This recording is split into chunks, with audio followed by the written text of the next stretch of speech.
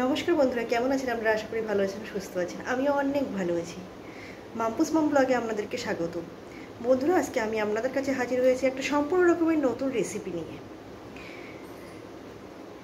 আজকে আমি আপনাদেরকে দেখাবো পেঁপে আর তেলাকুচু শাক। নিশ্চয়ই নাম শুনেছেন, আবার অনেকে শোনেনও নি। তেলাকুচু শাক দিয়ে শিঙি মাছের পাতলা ঝোল। এটা বাচ্চা থেকে বুড়ো সবাই খেতে পারবে। রেসিপিটি খুবই স্বাস্থ্যকর। শরীর অসুস্থ থাকলে খেলে শরীর চাঙ্গা হয়, আর যাদের রক্ত নেই শরীরে, তাদের খেলে শরীরে রক্ত হয়। তাহলে বন্ধুরা, রান্নাটা শুরু করা যাক।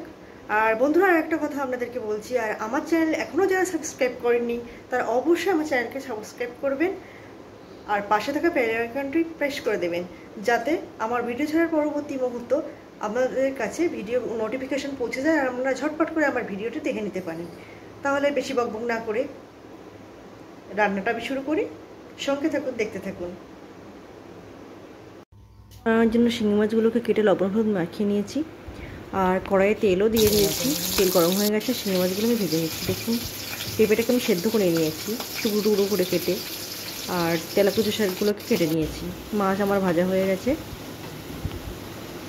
আর আমি কড়াইয়ে কড়াইয়ে তেল গরম হয়েছিল। তেলে একটু জিরে জিরে সম্বরা দিয়ে আর লঙ্কা একটা দিয়ে, যেহেতু আমার বাচ্চা খাবে, সেই জন্য আমি একটা লঙ্কা দিয়েছি। আপনারা পরিমাণ মতো লঙ্কা দিয়ে দেবেন। পেঁপে পেঁপে সেদ্ধ করা পেঁপেটি আর পেঁপেটা আর তেলাকুচু শাক দিয়ে দিয়েছি। এবার একটু হালকা হালকা মতো কষে নিচ্ছি। নিয়ে আমি জল ঢেলে দিয়েছি। বেশি কষানোর দরকার নেই। তাহলে উপকারিতাটাই নষ্ট হয়ে যাবে। আমি মাছটাও দিয়ে দিয়েছি। ঝোলে। রান্নাটা খুবই ইজি বন্ধুরা। এবার ঝোলটা ফুটছে।